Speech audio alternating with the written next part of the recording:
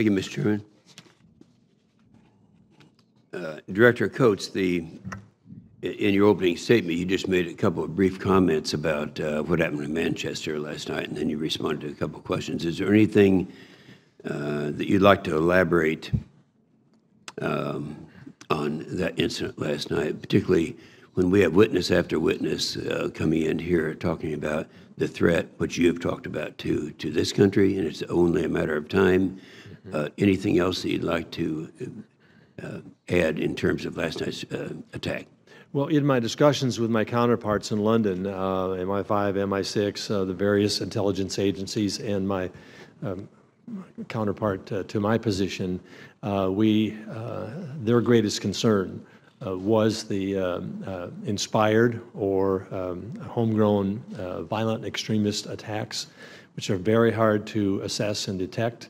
Um, initial uh, reports that we have received are that it is, was indeed a suicide attack. Whether there were others implicated in that is under assessment.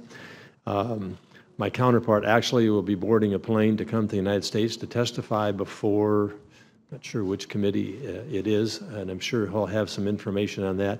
I have a call into him uh, to try to see what the latest information is. So you've had talk to him conversations right with these this since this happened, uh, this morning? or Pardon? You've had conversations with these counterparts uh, as recent, since have- this happened? Uh, uh, I have, my my uh, colleagues have, uh, in the IC have been talking. My direct uh, discussion with my counterpart, uh, he was actually uh, briefing the Prime Minister at the time. Very good.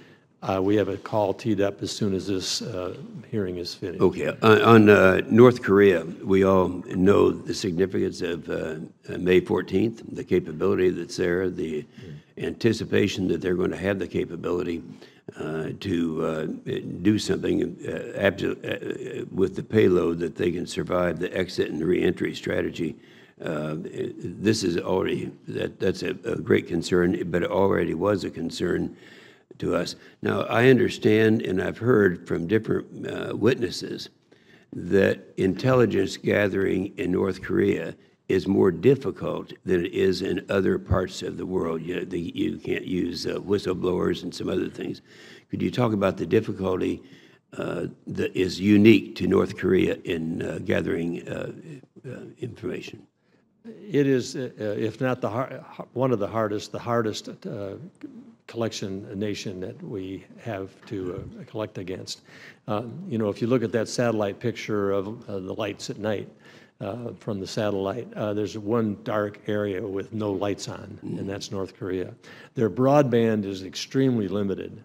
Uh, So um, using that as an access to collection is, um, uh, we get very limited results. We do not have constant, uh, constitu- consistent ISR uh, capabilities, and so there are gaps. The North Koreans know about these. So um, it is, um, it becomes a difficult challenge uh, relative to a society as closed and as isolated as North Korea is Yeah, to get the right intelligence that we need. Yeah, well, I, I know it's a problem, and that has to have the, uh, make us question the accuracy of the product a little bit more than we would some of the other countries that were in, involved in intelligence. Clearly. Um, on uh, last hearing that we had, we talked quite a bit in some uh, detail about the fact that we know in North Korea the big problem is that it's uh, it's unpredictable. It's managed by someone who may be, you know, mentally deranged, and so we have things that are true there that are not elsewhere.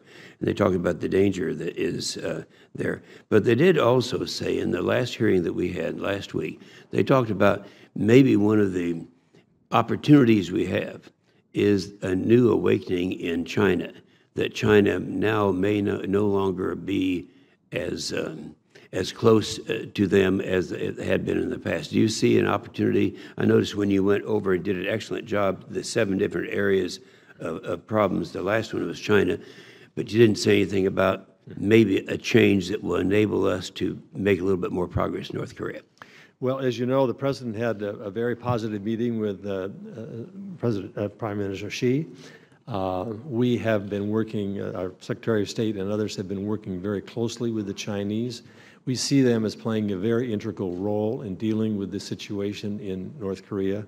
And in fact, it's probably the, and there is a strategy in place uh, relative to uh, sort of a ratcheting up of uh, efforts uh, with China uh, to influence North Korea to uh, decease, desist, cease uh, their uh, nuclear weapons uh, goals.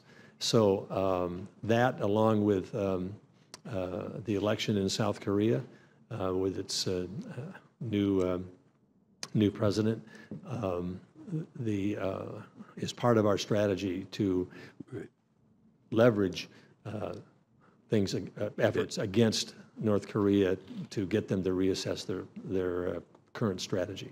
Thank you, thank you.